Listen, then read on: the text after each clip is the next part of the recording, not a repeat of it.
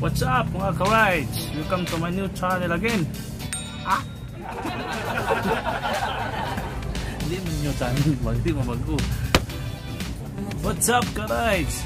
Welcome to my channel again. So, this is another episode at another comparison na ipakikita ko sa inyo. This is just the same brand.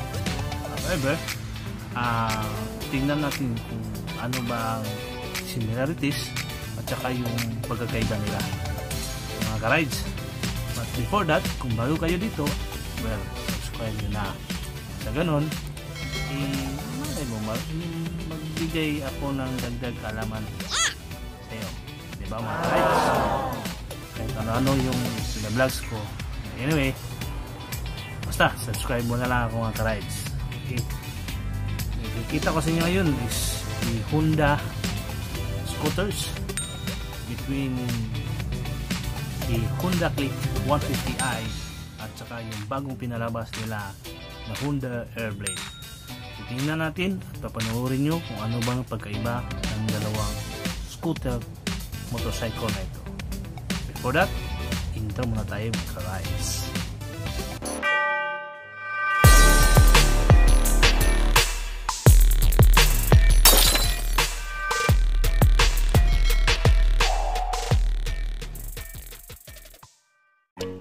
So, we have to discuss this motorcycle based on their engine performance, looks of forma, and other features. First, umpisahan natin dito sa Honda Click 150. Engine and performance is a single cylinder. Single overhead cam, 4-stroke, liquid cooled, ASP, or yung tinatawag nilang Enhanced Smart Power displacement of 150cc. The worst stroke is 57.3 by 57.9 mm. Maximum power of 9.7 kW at 8500 rpm. Maximum torque is 13.4 Nm at 5000 rpm. The starting system is electric. Transmission type is V-belt automatic. Suspension type in front is telescopic fork. Suspension in rear is unit swing. The brake front type is hydraulic disc brake, while the brake rear type is mechanical leading or using brake drum. The tire size in front is 90 by 80 by 410, of course, max. The tire size in rear is 100 by 80 by 14 then mags din. The wheel type is cast wheel. Wheel base is 1280 mm the overall dimension is 1919 by 679 by 1062 mm the dry weight is 113 kg seat height naman ito is 760 59 mm. Underground clearance is 132 mm. Full tank is 5.5 liters and this is a PGM FI or fuel injected. Okay, punta naman tayo sa second is the looks or forma. Well, para sa akin, this is quite competitive at madaling dalhin tingnan nyo naman ang front view ng scooter na ito it's similar look like CBR 150 so mapapalingon ka talaga at matitigan mo kung ano bang klaseng motorsiklo ito. The tail brakes ay futuristic na siya. Titingnan. So in my opinion if I will let this motorcycle out of 10 so ang grade ko is 9.5 okay? So punta naman tayo sa other features. This is already a keyless ignition, anti-thief alarm system, answer back. It means no worries ka sa parking area, especially if malayo ka nito. And if in case medyo nakalimutan mo kung saan party mo na park, well, i-push mo lang ang key at ito ay tutunog. So very smart na talaga ang motorcycle scooter na ito mga rides. at saka digital panel with information like speed display, time, fuel gauge, a trip meter, at may iba pa. Just press the select button at may nakalagay doon na trip A at trip B. It depends na lang sa iyo kung anong gusto mong i-display. At lahat ng lighting nito mga rides is LED na from the head and to the tail light. Ayos, di ba? At ito pa, kiniklaim ng Honda ng fuel efficiency nito is measured to 52 km per isang litro. So, sobrang gasable talaga mga ka-rides. At ang huli, dito sa Pilipinas, ay they are only introducing only 4 colors. Well, kayo nang bahala magsili kung anong gusto ang kulay na bibilhin nyo. Okay, punta naman tayo doon sa isa pang motorcycle. Another motorcycle scooter is the Honda Airblade which alam naman natin na just recently o bago pa lang ito inilabas ng Honda Philippines at ito rin ay nasa 150cc category tulad ng Click 150 so titingnan natin yung engine performance look design at other features din ito okay. let's start with the engine at performance. This is a 4 stroke single cylinder single overhead cam liquid cooled. Displacement dito is 150cc bore stroke is 57.3 by 57.9 mm the maximum power of 9.6 kW at 8500 rpm maximum torque is 13.3 newton meter at 5000 rpm the starting system is electric or ECG starter transmission belt is V-belt automatic. Front type suspension is telescopic.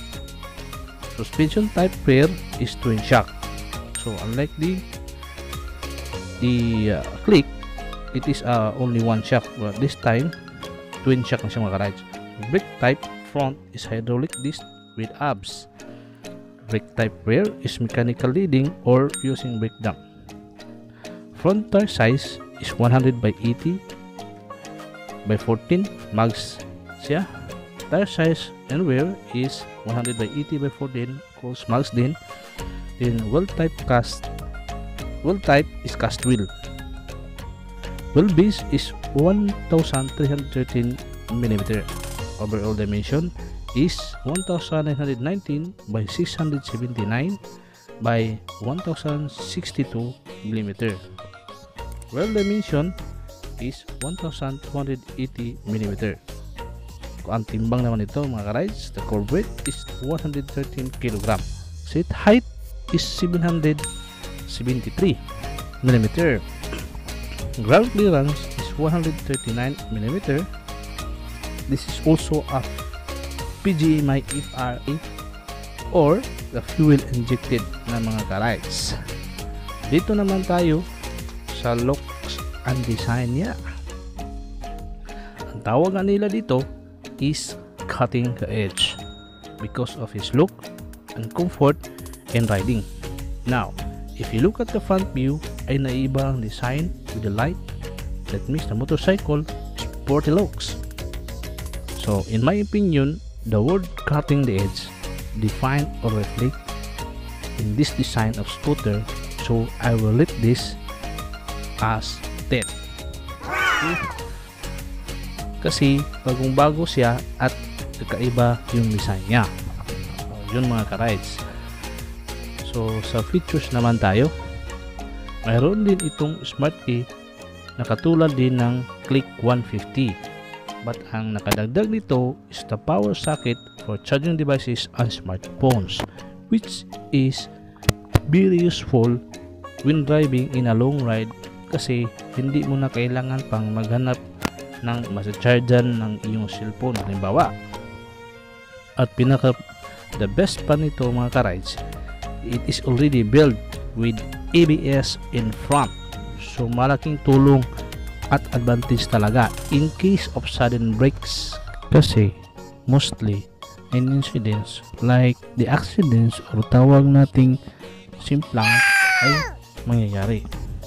Isa pa, mas spacious din itong set compart nito unlike the Honda Click kasi yung gas tank ay nilagay na sa harapan. Sa gas consumption nito ay halos magkapareho din sila ni Click. They differ in a fuel tank capacity only. The Honda Blade is bearing 4.4 liter. Honda Airblade comes also with 3 colors to choose. So, kayo na rin bahala kung ano ang gusto nyong color nasa sa atin na yan. Okay, so yun mga ka-rides. Sana, bago po tayo mag-plan na bumili ng scooter, I hope ang video na ito ay nakapagbigay at dagdag kaalaman kung ano ba talaga ang mas prefer mo na bibilhin. Kasi, pera at pagsisikapan mo yan para mag-iyo-iyo na, di ba? Well, anyway, both motorcycle is superb and beautiful. Kaya lang, may kanya-kanya talaga tayong test na hinahanap na wala sa iba at nasa sa atin na rin yan. The most important is yung nagugustuhan at napupusuan mo. Kasi, at the end of the day, taas noo ka na magmamaniho sa motor mo. Okay mga ka-rides, hanggang sa ulitin. Lagi natin tatandaan pag nasa daan, may pamilya ka pang uuwian, kaya ride safe always. Okay mga ka-rides, laging tatandaan, ride safe always. Bye-bye!